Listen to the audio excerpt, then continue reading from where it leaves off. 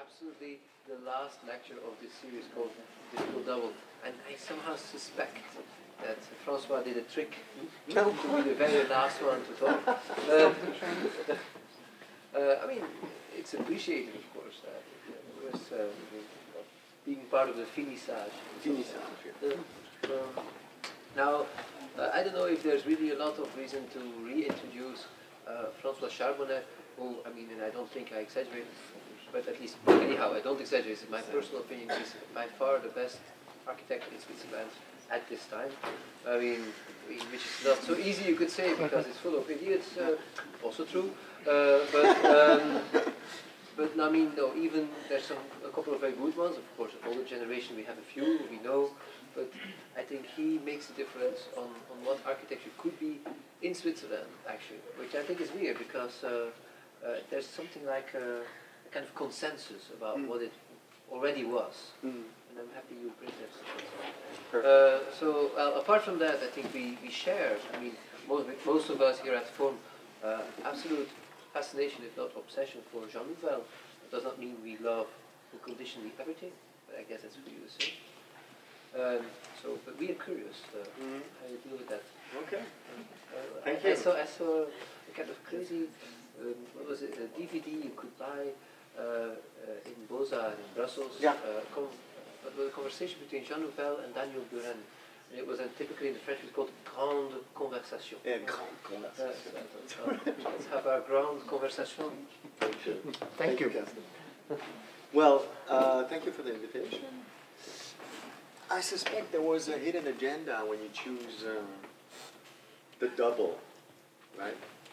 And um, I didn't really know how to cope with this issue because um, I have a tr- sincere fascination for the work of Jean Nouvel, but I had to dig a little bit in the past to see really what uh, interested us. And I didn't really know what kind of strategy I would use in order to present uh, this difficult double. The first thing I want to say is that he's only a difficult double.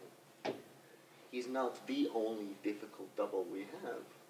And um, that accounts for the multiplicity of the doubles uh, we seem to actually have affinities with. Huh? The second question would be how difficult this double is, and I didn't find it very difficult. But, but I realized that in the course of the elaboration of the presentation, the presentation is done in two parts. Um, the first part.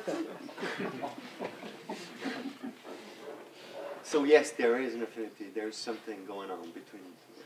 Although I've never met Jean Nouvel, uh, I don't know what kind of a person he is or anything like that. I know he's always late, which I respected, because I was supposed to give this lecture two weeks ago. We're late today. I was late two weeks ago, so I'm kind of a adopting, let's say, uh, the attitude of Jean Nouvel. Uh, what you see here on this picture is, of course, the body of Jean Nouvel. We changed the watch, the cigar. The head is that of my associate, Patrick Heiz. And uh, the glasses are mine. Uh, Basically, this is it. But as I said, uh, in the process of the elaboration of this uh, short lecture, which might not become really short, that's the other thing. As I said, it was going to be in two parts. The first part is going to be somehow trying to read the work of Jean Nouvel through the topics that Made In seems to be interested in. And the reason for which I say this is that you're never going to see a single image of our work. I'm only going to present work by Jean Nouvel, which I find affinities with. You know? Uh, I disagree, you know, I, I, I don't feel close to every approach he has, but there's been uh, interesting topics addressed by Jean Nouvel, let's say in the 80s, 90s, and beginning of the 2000s. You can see here, this is my Croquis. My father uh, subscribed, uh, bought me a subscription after the first year of my studies. And uh, you can see with the marking of the pages, uh, it's been uh, one issue that has been used all over the studies. A bit less afterwards, but uh, it hasn't been open for 15 years now. But I realized that I had been scratching and searching through this book for a very long time. As I said, it's not the only. One, there's one that is completely trash, trashed. It's the one by Rem Koolhaas. All the others are pretty neat and new and fancy. Uh, the second source is that uh, conversation between uh, Jean Baudrillard and Jean Nouvel about les objets singuliers. And I think it accounts to a certain extent for this very Latin approach to architecture and this also very French approach. There is a artificial inter- intellectualism. I call it artificial because I don't think Jean Nouvel is an absolutely uh, sharp intellectual. He's a sharp architect. There's no doubt about this. He's very often been said that he was a man of word uh, and not of writings, you know, just oral words, which I cannot confirm because I've never met with him in a certain way.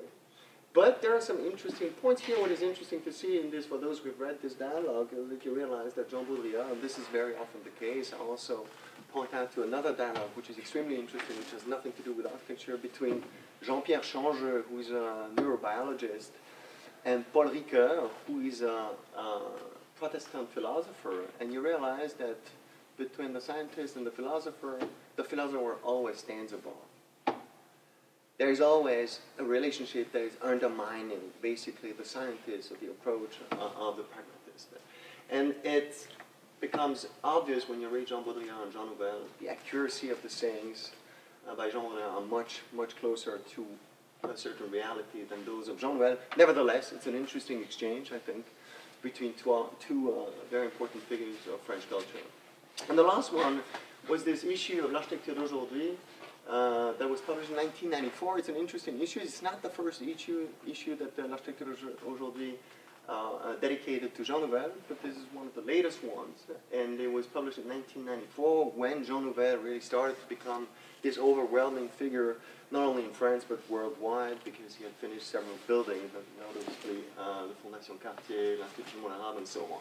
So just to show you that it's been part of our education at Made In, it's still very much alive, but mostly unconsciously, I would say. And we'll start by actually uh, trying to define a certain amount of frameworks. I will not get into all the details. These are more intuitions than they are really, uh, let's say, uh, proved uh, facts. I would say the Jean Nouvel work is about science, which would somehow account for the connotative framework he's dealing with. And what I did is that I simply, which is quite unusual, uh, well, not usual for Nouvel, instead of showing images, I will show images, of course, but I started to actually select also in some quotes and some text he had written uh, for this Architecture d'aujourd'hui. And here's what he says about science. Is anyone still interested in structural truth? Aren't the formulas hacked or lost? Haven't the archetypes been made ridiculous in bad simulacra? Architecture is more and more interested in the living. Architecture receives and holds the signs of life. Its new dimensions are interactive, time, speed, lights, intensities, materials, touch, and signs, images. That is, if I really uh, respect what he's trying to say, he understands signs as images. In our practice, we don't only understand signs as images, but he basically mostly understands signs as images would still be interested, Made In would still be interested in time, of course, the speed, much less by lights and materials, which are, I think, let's say, secondary topics, not only in the work of Nouvel, but mainly in our work. Uh, images. Let's look at uh, what kind of images he's produced. Many of them are very well known. It is always associated with certain understanding what the images are. Here, of course, here the ship, the metaphor of the ship, is extremely, an extremely important one. His ability um, to create sign at a, at a, at a grand scale.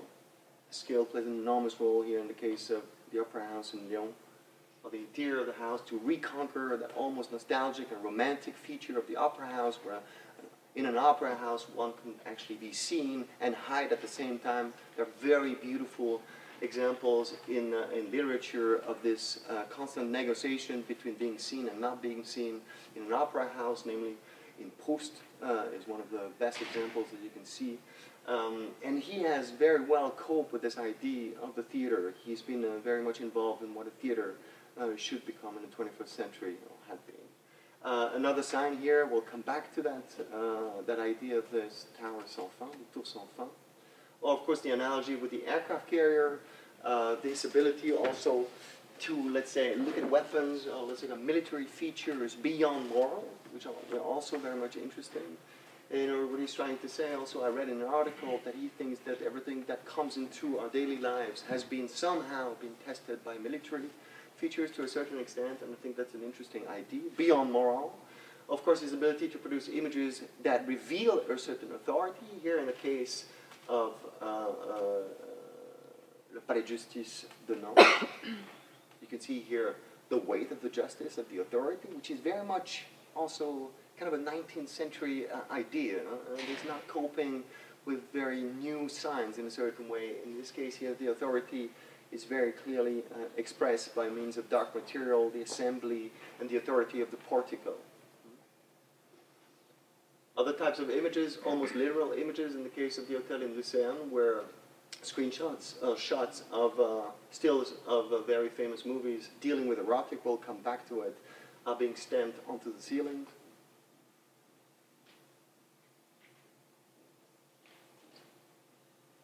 Or in the case of a very beautiful project in the rehabilitation of St. Mary Church in Dordogne, where uh, uh, the uh, tympan, the tympanum uh, uh, of the church is being raised to a monumental size by means of the gigantic doors. The second topic I think Jean Nouvel is dealing with is prosthetics, which would account for the performative framework. The architectural support will be increasingly sophisticated. It will integrate high, the most highly evolved extensions of functionality, miniaturization, mechanization. It will create spaces to be lived in that are climatically controlled and product programmed, evolutive or specialized. Technology is no longer the enemy of nature. Of course, he calls upon this idea of sustainability, but I think it goes way beyond this. In the case of uh, an example of the Institut du Monde Arabe, this is very clear that technology uh, has been used uh, to stage a certain, not only a performative aspect, of course, to stage something. In this case, uh, he's been very much criticized by the fact that this expensive facade doesn't work, which is not true. Uh, he gave a lecture at the ETH in the early 90s and said that basically these engines that actually drive this facade have been developed by NASA and they perfectly worked. They simply do not use them. It's as simple as that. So uh, the diaphragm does not work as such because they refuse to use them for several reasons. I don't exactly know, but every engine has been tested by NASA and still works. Uh, this application of technology onto a built facade is quite a fascinating one. I said prosthetic, prosthetics not only dealing with performative aspect, but always with staging and conflict and always this negotiation between accesses and really the image it is produced by. Or in the case of the hotel in Florac, with the pistons allowing the facade to open itself towards the landscape.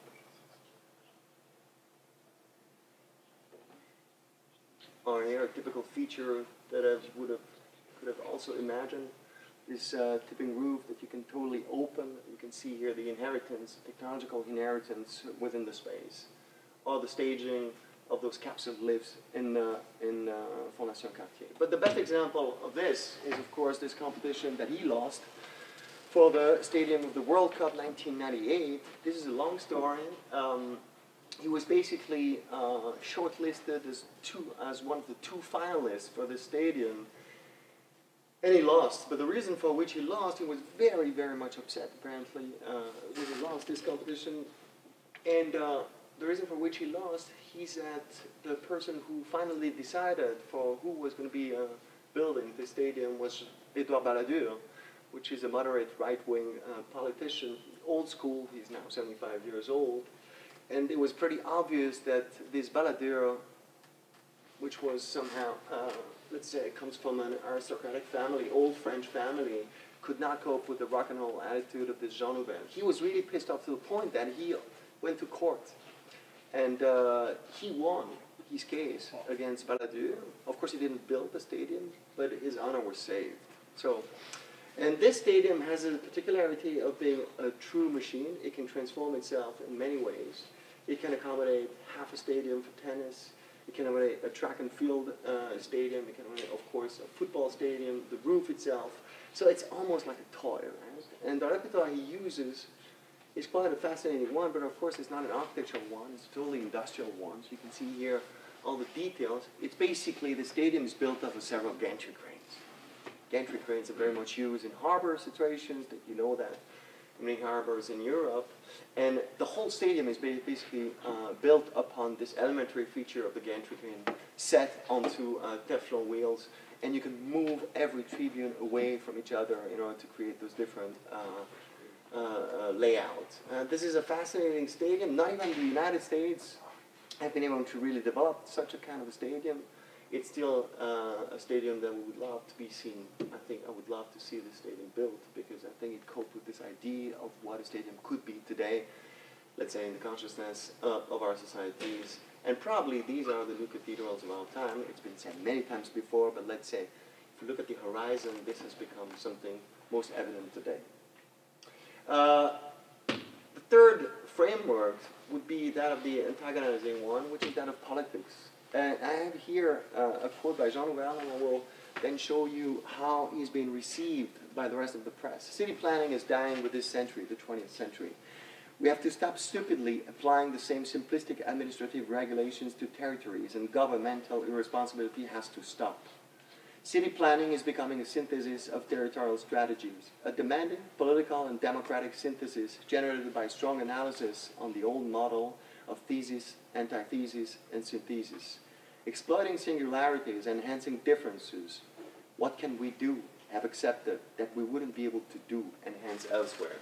So his strategy a very clear one. City building is about enhancing differences. But of course, this is not of the taste of everyone. This is This is uh, an excerpt and a highlight of, a, uh, of an article published about Jean Nouvel, and it says the following thing. Méfions-nous particulièrement de Nouvel. Il est à la mode et construit de plus en plus de choses de plus en plus laides, puisque personne ne l'arrête. On ne juge plus tant les gens sur leur tête, et c'est fort dommage. Nouvel est jeune, chauve et laid. Son sourire n'est qu'un rictus cruel, sa méchanceté se lit dans ses yeux cupides. L'ensemble est asiate, c'est un mongol, un, un destructeur de civilisation, et nous n'avons plus de Sainte-Geneviève pour arrêter les Attila. That's a strong charge, but it shows how polarizing uh, uh, not only his architecture, but his personality is in the landscape of globalized architecture. And this is, of course, a French uh, article, but you can see that also not only in France. So he, he basically builds up tension around his project, and I think he does it consciously. It's been said many times, of course, latest uh, project that was cancelled was, uh, was uh, the extension of the Musée des Beaux-Arts, uh, Musée d'Art in Geneva, where you can see he's been depicted as some sort of a Dracula. And he has a little bit of that, of course, but what I appreciate about this is that he's able to engage into political uh, uh, statements and he's not afraid to engage into these discussions. The latest one, of course, is that of the Philharmonie, I'm not going to talk about the project itself, but of course this has been as loud as it could ever get. He boycotted the opening of the Philharmonie, but it shows how much this guy has been able to stand on his, firmly on his position. And let's say, I'm sure he's an opportunist, but to a certain extent, he's able to stand by his position, which I highly appreciate. The fourth framework, which would be that of manipulative framework, would that of illusions. And I would think that illusions are extremely important in his work.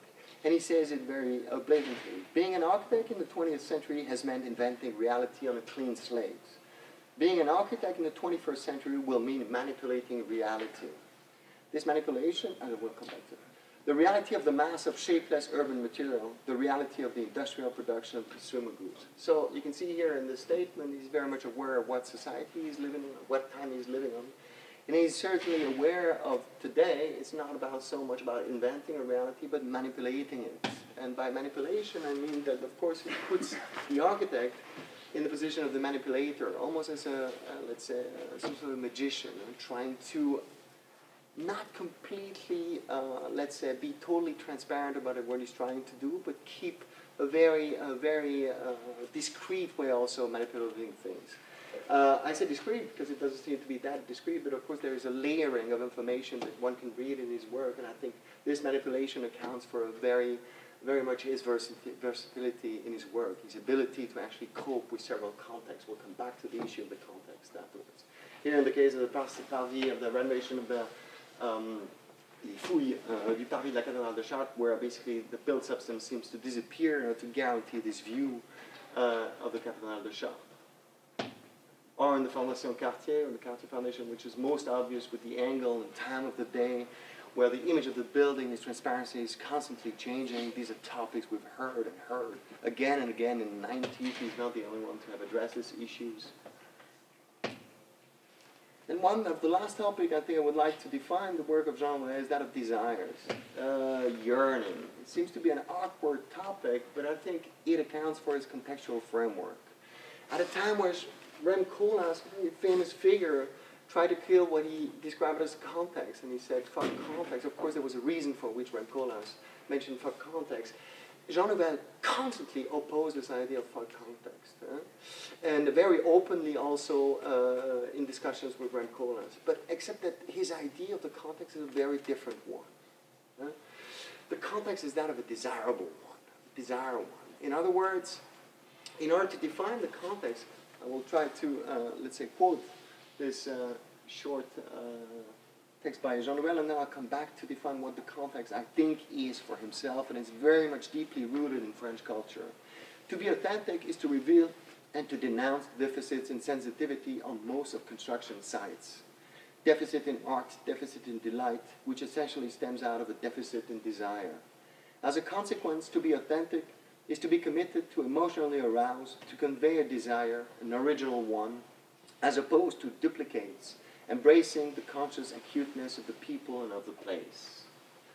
And I think if one were to be, here's an example, I think, of one of the most phantasmagoric uh, projects of his, where once, let's say, the absolute phallocratic idea of a tower, this tower without an end, one of the last very beautiful idea of the very common uh, uh, understanding what a tower is.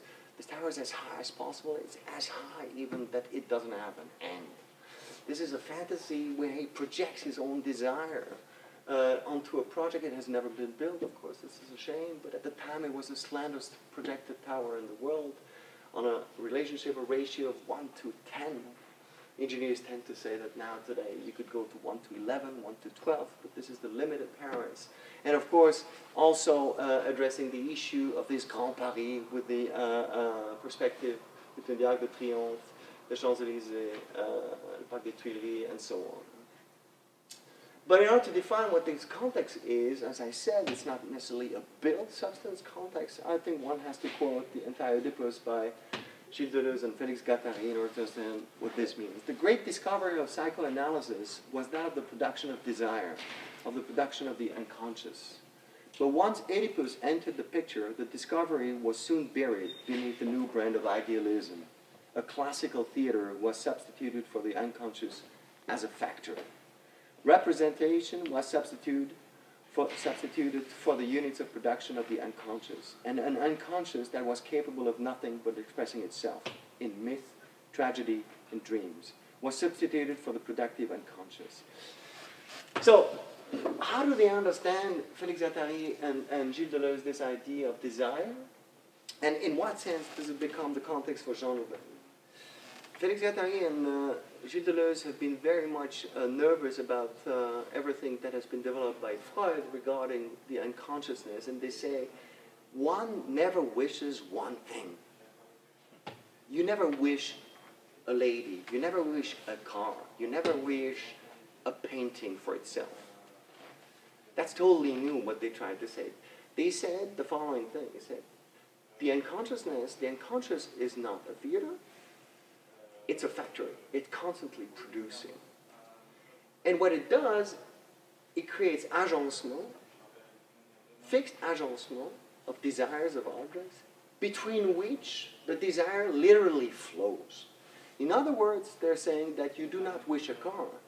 You wish a car within a certain condition, within, on a certain road, with a certain lady, with a certain context. And this context is not only a built substance is not only an architectural one, it's an emotional one, filled up with desires. I think Jacques Herzog and Jean Nouvel are the closest to what they describe this unconscious factor being projected onto built substance. And the last one I'd like to say is the last uh, framework I would define is that of the constructive framework, which is not a pod one, but the assembly. All these major works are basically being assembled. You can see here in the case of the Institut Monde Arabe is almost even most obvious in the Philharmonie. You can see here that everything is being assembled, nothing is continuous in the space, everything is being mounted together. So, having said those, defined those five or six topics, I would like to present one project as a conclusion, which I think is one of the best projects of genre, at least I find extremely close uh, to this project for several reasons. I wish I had been able to actually develop such a project. It's been done. So it's not to be done again. But it's a fantastic project. You will see that all these topics have been somehow embedded into uh, the process of development of this project. Nemausus, I call them prototyping social housing. In order to describe it, I have to go through a very short and quick social history of social housing in France in order to show how much Nemausus is basically part of this lineage of uh, idealistic uh, approach of social housing in the context, the given context of France. I'm not going to describe everything, of course, one of them being uh, Claude Nicolas Ledoux and his Saline Royale d'Arc-et-Senans, the Phalanstère of Charles Fourier, the Familistère Jean-Baptiste Godin, la Cité industrielle de Tony Garnier, la Cité de, de la Muette by Beaudouin and Loda. As I said, these are not, have not been chosen for the qualities, but just to show how much massive production of social housing has been an issue in the development of French architectural culture. L'unité d'habitation in Nantes by Le Corbusier, Montparnasse, La Grande Borne, les choux Créteil. You can see they've been extremely inventive also in terms of architectural forms. And of course, one of the most famous ones, Antigone Montpellier by Ricardo Bofill. One has to realize what social housing mean in France uh, uh, in order to really understand what, how good a project like the Nemausus is. Um, there are 4.5 million social housing units in France, which represent about 16% of the total built substance on the, uh, uh, in the country.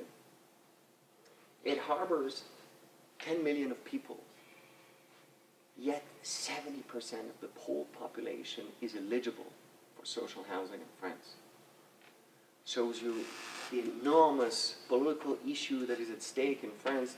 These are kind of old numbers, but I doubt that with the government they have today, these numbers have drastically changed.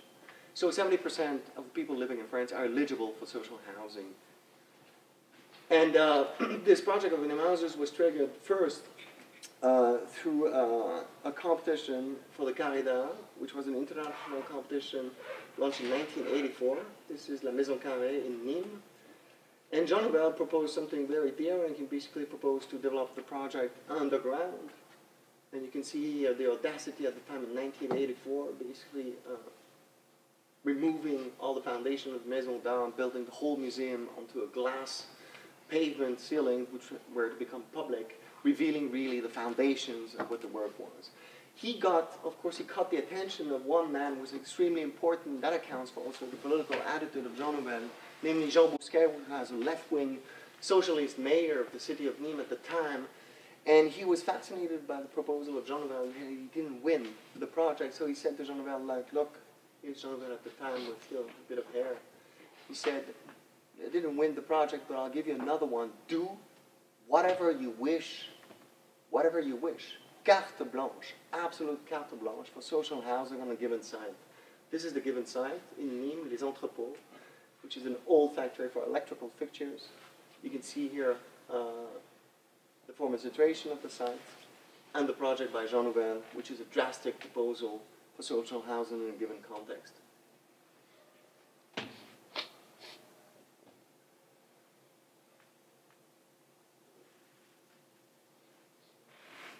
So how is it built?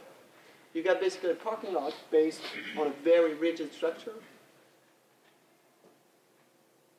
And of course you can see the accumulation of signs also. You can see in the section that this parking lot is not set to the ground level but slightly excavated in order to provide uh, uh, no obstacle in the view at ground level. It's full of industrial and also uh, industrial signs and also connotation of the industrial assembly. It harbors 140 housing units, 14 housing units. Also an extremely different, we will see there's a whole study about typologies. It's a very simple structure, extremely economical, built on top of each other.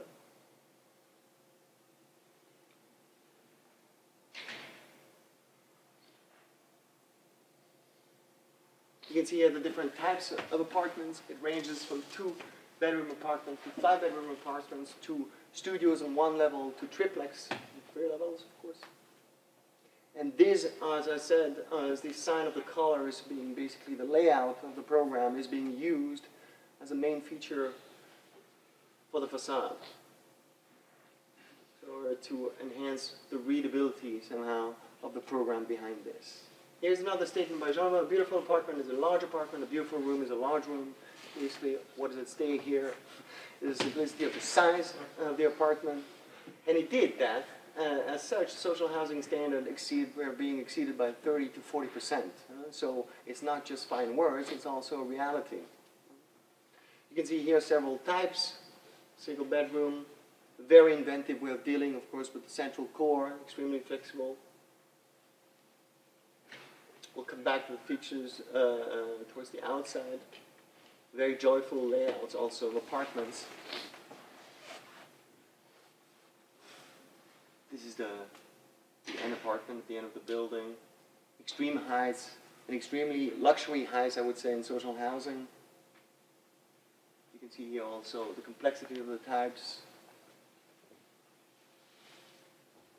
I'm sorry for the quality of the pictures that were taken from the documentary on uh, Nemausus, so it's a low resolution project and low resolution images. He also enhanced this idea, politically speaking, more ethics, less aesthetics. Of course, this is a very instrumentalized quote because you can see here uh, that it has very little to do with more ethics, but uh, a lot to do with aesthetic, of course. Impoverished aesthetics in this case, but I think it is kind of fascinating to see how we manage by exposing and exhibiting all the pictures to somehow cope with a certain idea of a certain ornament or a certain understanding of what is going on within the buildings themselves, using again within the repertoire industrial fixtures.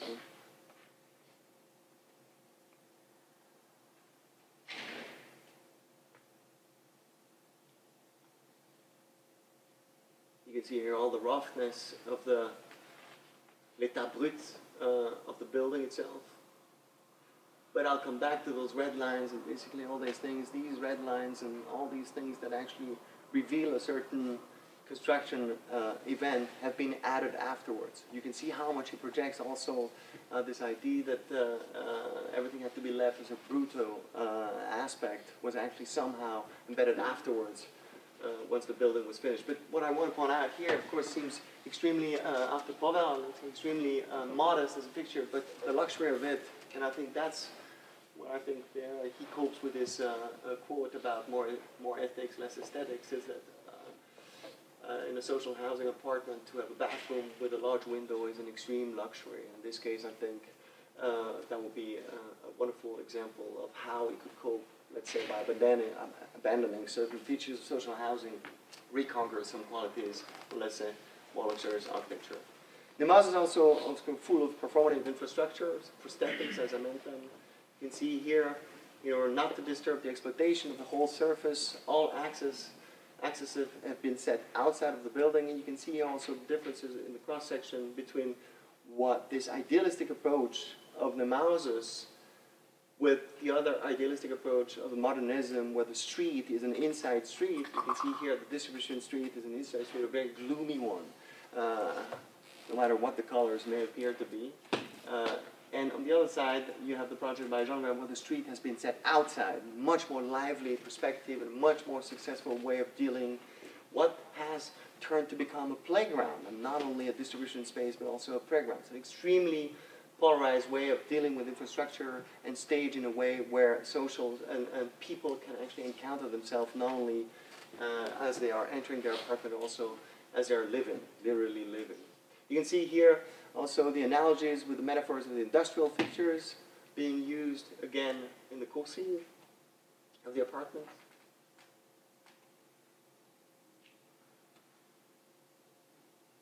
One has to also point out this polarization between private, intimate, and public. You've seen the street on the other side of the building.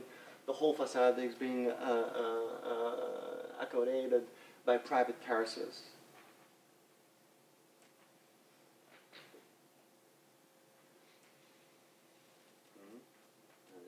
Problem.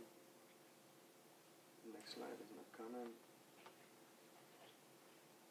So technology is not the enemy of nature, but it's my enemy. To start. That's it. Uh-huh. Yes, okay. Here's the next. You can see here, these these basically uh, railings on the ground floor have been added in 2010, I think, later, much later on, reusing basically the same repertoire as it was above, because people were actually throwing cans and trashes into the thing. This remained social housing and not a very, you know, not very wealthy uh, part of Nîmes. So uh, they managed to actually cope with this, the, with the project 20 years later in a very elegant way, I also think. Right?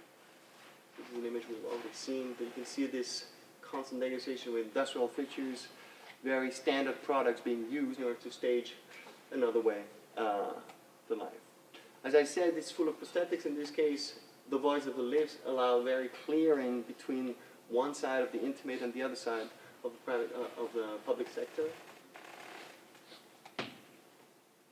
And the repertoire uses that, that goes back to our understanding of the assembly, uh, which would be that of the constructive framework, the industrial repertoire. As I said, all these pictures are basically industrial products that have been not adapted, but very slightly adapted in order to be used into uh, into social housing development, which is something which is absolutely unthinkable in Switzerland. right now. It would be hardly thinkable today, probably in Europe.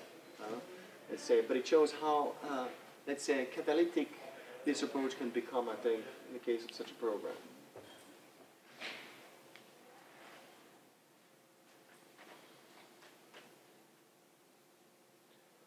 Prosthetics, of course, as I understand, people are extremely happy that these doors can totally open, but they're not insulated, so when there is a lot of rain, there's water in the apartment, it's freezing in the winter, doesn't matter, it's still a fantastic product, but they accept to live with it. You can see here the, all the hinges of the fire station, doors that have been used.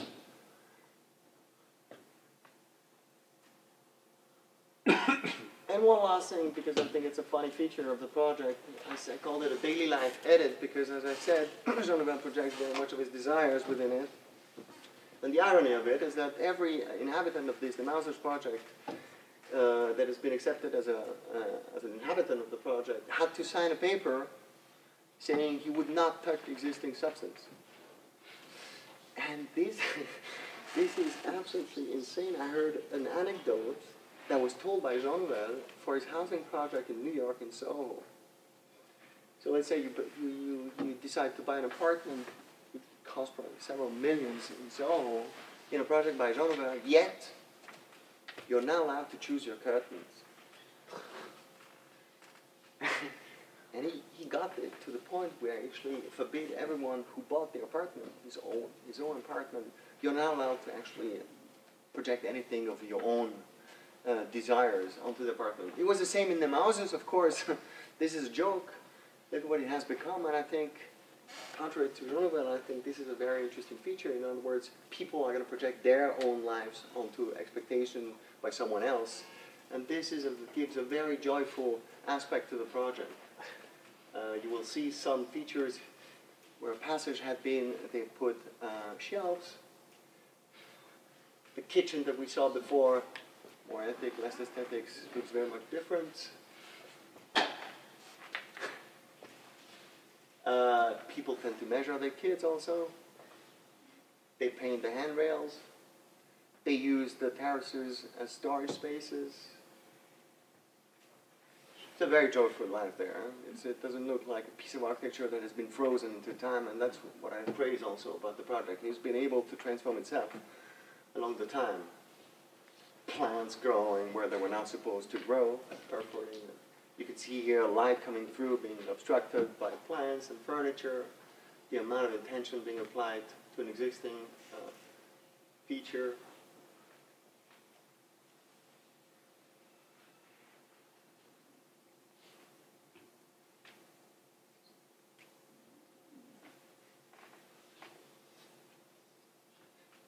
But nevertheless, this remains a very beautiful project, I think, an extremely convincing one. Uh, the Nemausus in numbers is very simple. It's 10,400 square meters for a budget of 6.1 million euros, which is somehow pretty amazing, I think. That's it. Thank you.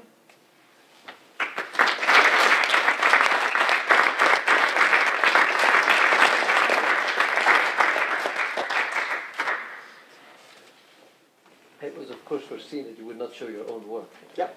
You, you, I knew that in advance. Come on, I was With here Andrea, four months so- ago, huh? Yeah, no, of course. I mean, he's the master in the hiding. Huh? Oh yeah. How do you say that? Hiding.